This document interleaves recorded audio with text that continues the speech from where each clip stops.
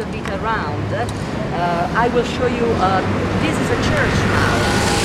It was consecrated by the Pope